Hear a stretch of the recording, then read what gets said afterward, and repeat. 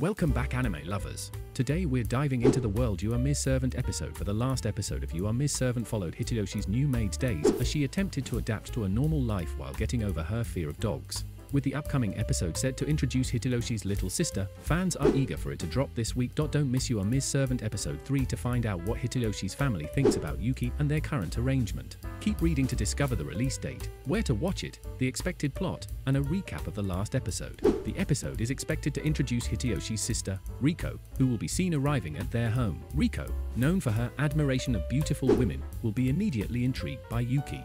Upon learning about Yuki's assassin background, Riko eagerly engages with her, showing a particular interest in learning some of her techniques. The two quickly become friends, with Riko praising Yuki's unique culinary tastes. The trio will later attend a local summer festival together, which Yuki will experience for the first time.